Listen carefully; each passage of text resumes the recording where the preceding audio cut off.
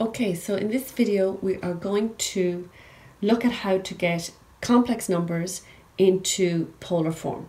So if you see here, rectangular form or Cartesian form is the normal way we uh, deal with our complex numbers where you have a real and imaginary part. But what we want to do in this video is be able to convert that into polar form. And polar form is of the form or bracket cos theta plus i sine theta and I'm going to explain exactly how to do that uh, now.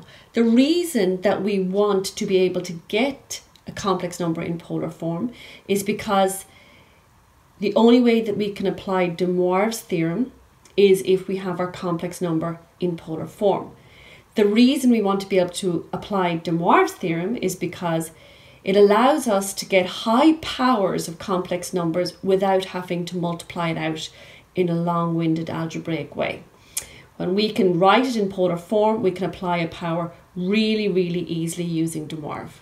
So the first stage before we can even use de Moivre is to be able to convert a complex number written in real and imaginary form into polar form.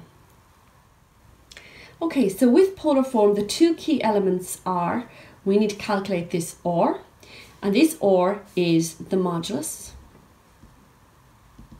and we need to calculate this angle here, which is what's called the argument. Let's jump straight into an example and this will make more sense. So we are going to uh, convert the complex number 1 plus i and we're going to put it into polar form. So the first thing we're going to do is find the modulus. The modulus, if we look at this graphically, is the distance between the origin and that complex number when it's drawn on the Argand diagram. So 1 is along on the real axis and uh, obviously up i or 1i on the imaginary axis. So there is where 1 plus i is plotted on the Argand diagram. So the modulus is the length of this line. So the way we calculate it comes from Pythagoras. And so if you take the modulus of a complex number a plus bi we are going to get it by getting the square root of the value a squared plus the value b squared.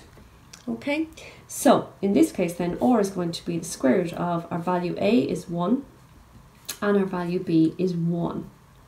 It's just 1, it's 1 along and 1 up. So you're not putting an i in there, you're putting the coefficient of i or the, the number that it goes up. So square root of 1 squared plus 1 squared, which is the square root of 2.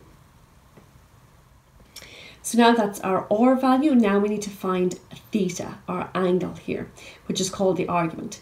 Now the argument is always taking the angle between the positive sense of the x-axis, so this side of the x-axis, your real axis, it's always the angle between that line and your modulus. Okay, so that line joining the origin to your complex number, wherever your complex number is. It is always going from the positive sense of the x-axis to that line, and in this case, there is our argument. That is the angle we are looking for. So to recap, the argument is the angle between the positive side of the x-axis and the line from the origin to the complex number. So you'll always do that little sketch. So now the way to calculate this angle is, well, if we make a right angle triangle here with the x-axis, you'll always make your right angle triangle with the x-axis. What you have here is, that's one, and it's one up, so the length of both of those sides of the right angle is 1 and 1. And since we want this angle here, from my trig ratios, if I have the opposite side and the adjacent side, I can apply my tan ratio, which is opposite over adjacent, which is in this case 1 over 1. And from that, I'll be able to do tan inverse 1, and this will give me my angle. And so the answer is 45 degrees. And so now, putting those elements back into our polar form, we get that 1 plus i in Cartesian form is equal to, or is the square root of 2 times cos theta is 45 degrees plus i sine 45 degrees. So personally, I would work all the time in degrees, but if they're looking for radians, I would just do the conversion to radians at the end. And if you're unsure of whether the question is asking for it in uh, degrees or radians, give both answers. So in this case, to do the conversion, since we know that pi radians is equal to 180 degrees, therefore 1 degree is equal to pi divided by 180. In order to then convert any degrees, we're just going to multiply by pi over 180. So in that case then, when we multiply 45 degrees by pi over 180, I get square root of 2 cos pi over 4 plus i sine pi over 4. Okay, so there's your two answers. This in degrees and this in polar form in radians.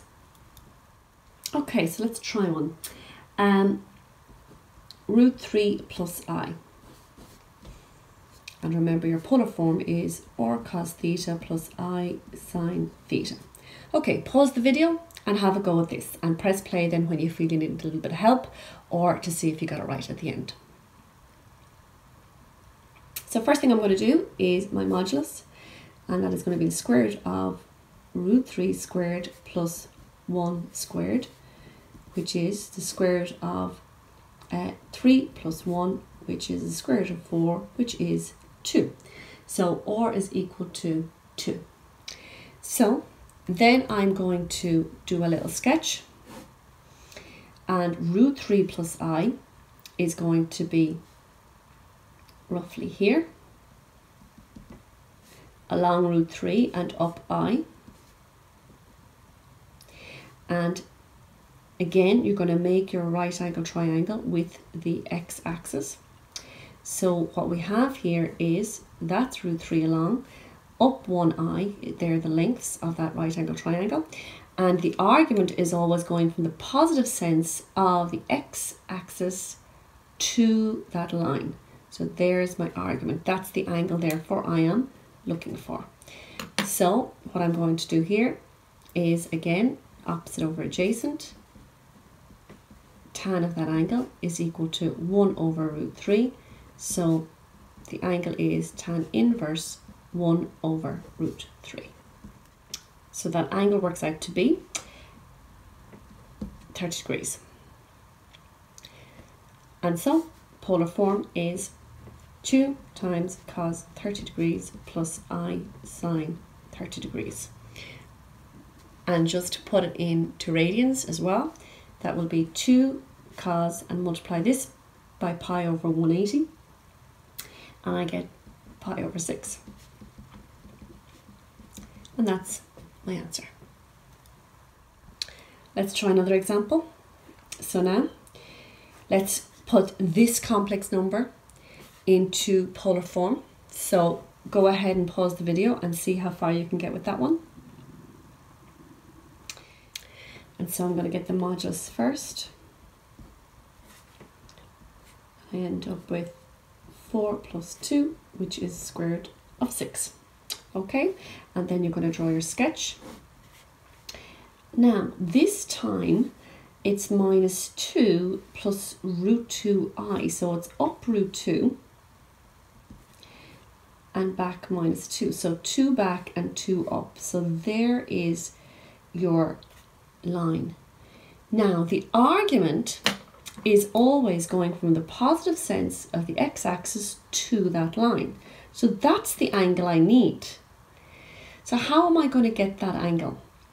Well, what I'm going to do is I'm going to take the right angle triangle that's made with the x-axis and I will use my trig ratios to find this angle. I'm just going to call it A in here. I'll find this angle using trig and then I'll be able to take it away from the straight line 180 and that will give me this angle here. It's this angle here that's the argument. That's the one we need. The one going from the positive sense of the right, the x-axis to that line that's what we need. But in order to calculate that one, I can work out this one first and then subtract it from 180 in this context. So the right angle triangle is length 2 here and root 2 up. And I'm going to find this angle first, opposite over adjacent again. So it's going to be tan A is equal to root 2 over 2. So this angle here is tan inverse root 2 over 2. So we're getting 35.26 degrees. So we'll round that to the nearest whole number, 35 degrees. Okay, so in order now to calculate what the theta is, theta is going to be 180 minus the 35 degrees, which is 145 degrees. That is what my theta is, my argument. So my complex number is root 6 cos 145 degrees plus i sine 105 degrees.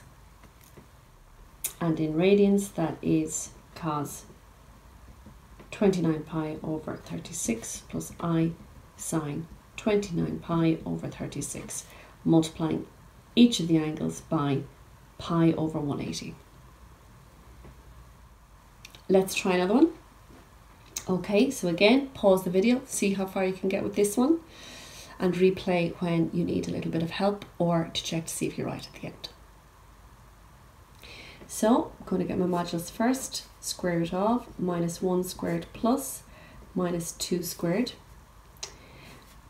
And that is square root of 1 plus 4, so the modulus or or is root 5. Okay, so now we are going to sketch this. And minus 1 minus 2i is back at minus 1, down at minus 2i, there's your line. And so the argument always goes from the positive side of the x-axis all the way to that line. So that's the angle I'm looking for. So how am I going to calculate that angle? Well, again, I'm going to look at this right angle triangle here. And if I get this angle here, if I just add that on to 180, the straight angle here, I get that full angle that I need for the argument. So looking at that, I'll call this A, that's the angle I want. This length is back one, so it's a length of one, and it's down two, so that's a length of two. There's my right angle triangle, which you always make with the x-axis. And again, I'm going to use tan. So it is going to be opposite over adjacent. And so tan of that angle A is opposite, which is 2, over adjacent, which is 1. So A is equal to tan inverse of 2, and that we are getting 63.43. We'll take that to the nearest whole number, 63 degrees. Okay, so now what do I need to do? I need to find the argument, so that full angle here, so I'm going to add on 180 to the 63 and that will give me the full angle all the way around. So theta therefore is 180 plus the 63 degrees in this case. So what I'm getting then is 243 to the nearest angle. So in polar form then I'm getting root 5 times cos 243 degrees plus i sine 243 degrees. And in radians, that would be root 5 cos multiplying this angle by pi over 180 will give me 27 pi over 20, which is that angle in radians. Might be worth getting the habit of writing down the two the two answers just in case it's so easy to miss the exam paper question uh, and and not realize that maybe you did need it in radians or you did need it in, in degrees if you put both down then you're sure you've got yourself covered. Okay let's try another one okay so have another go at this pause the video and see how far you get I'm giving you examples of one in each quadrant just so you get a feel for exactly how to calculate that argument. So try this one and see how far you can get. So for the modulus, it's going to be the square root of a half squared plus minus root 3 over 2 squared. So that works out to be square root of 1 quarter plus 3 over 4, which is the square root of 1, which is 1. Okay, so now our sketch. So it's a half along and down minus 3 root 3 over 2. So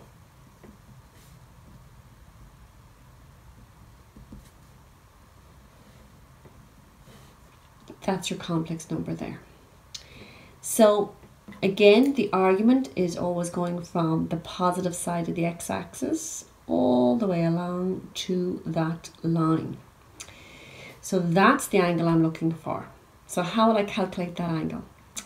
Well, easiest thing to do here again is to make your right angle triangle with the x-axis. Let's calculate this angle here. And then to get the red angle, all we need to do is subtract that angle from 360 degrees. So, the triangle I'm looking at here, that length is a half and the length down is root 3 over 2. And this is the angle I'm looking for. I'm just going to call it A. So again, that's opposite over adjacent. So we have tan of the angle is equal to root 3 over 2 divide by a half. The opposite divide by the adjacent. And so we get 60 degrees. So our theta then is 360 degrees, your full circle, take away this angle. So we're getting 300 degrees. So our polar form is 1 times cos 300 degrees plus i sine 300 degrees. Okay? And so in radian form, it's going to be cos, multiply this angle by pi over 180, and we get 5 pi over 3 plus i sine 5 pi over 3. And there's your answer. Okay, last example, uh, and that is we are going to change the complex number minus 3i and put that into polar form. Okay, so go ahead and pause the video and see how far you can get and play if you need any little bit of help. So this complex number, the real part is obviously 0 and the imaginary part is minus 3i. So the modulus is going to be the square root of 0 squared plus minus 3 squared, which is the square root of 9, which is 3. So 3 is your R. So now, sketching this, this one, minus 3i is down here on the y-axis. So how am I going to calculate the argument? Well, don't forget the argument is still the same. It is going to be the angle that goes from the positive side of the x-axis all the way around to that line that joins the origin to that complex number. So that is your angle. And straight away we can see what that angle is. That angle is 270 degrees. So it's nice and clear from the diagram exactly what my argument is. So straight away R is 3 and my angle is 270 degrees